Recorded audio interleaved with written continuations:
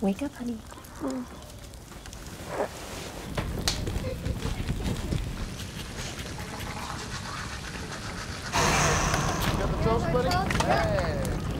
Do you have a test?